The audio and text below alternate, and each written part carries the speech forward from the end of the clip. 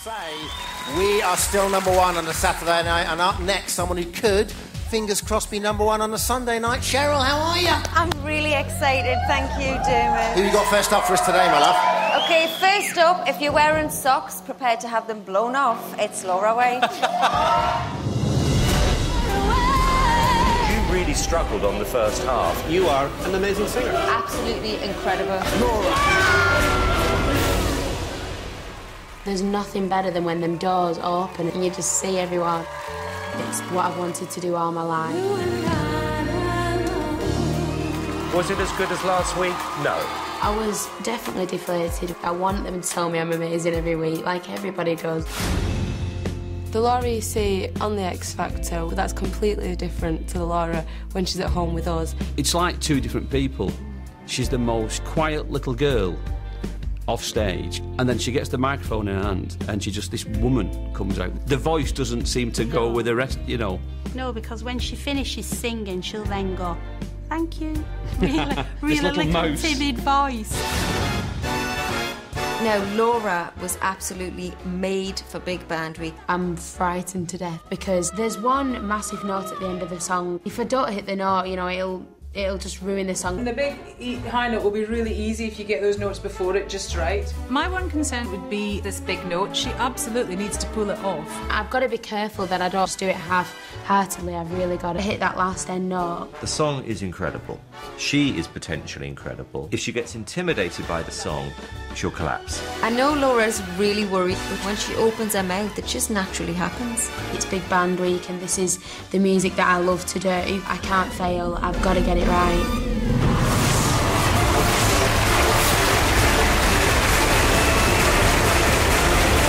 Laura White.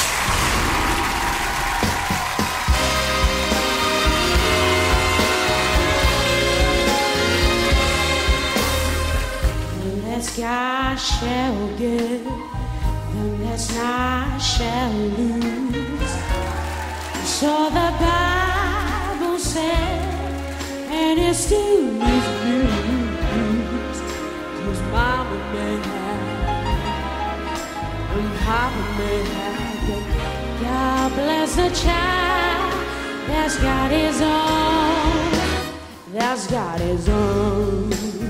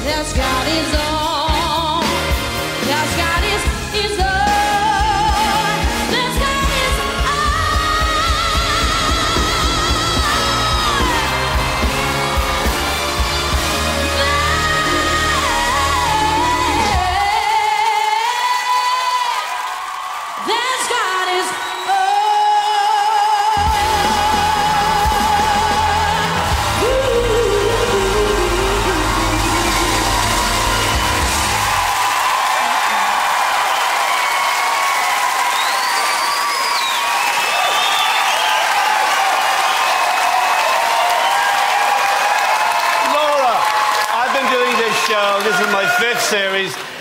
Every now and again, somebody walks on that stage and does the most amazing performance. And tonight, that was absolutely world class. It's, it's, it's a Billie Holiday song.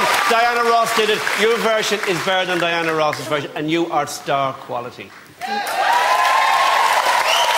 Laura White is back on top! that was fantastic. It was. I would run out and buy that tomorrow if it was on the shelves. Out, that everybody's going to be looking for that on YouTube. Let me tell you. Brilliant.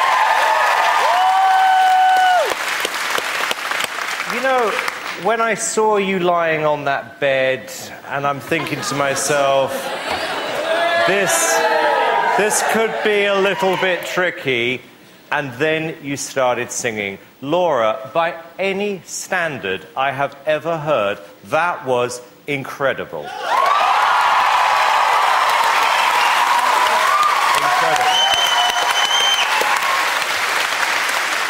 I don't feel like I have to say anything. I think the crowd's reaction and the judges' comments said it all. Your voice said it all. So proud of you.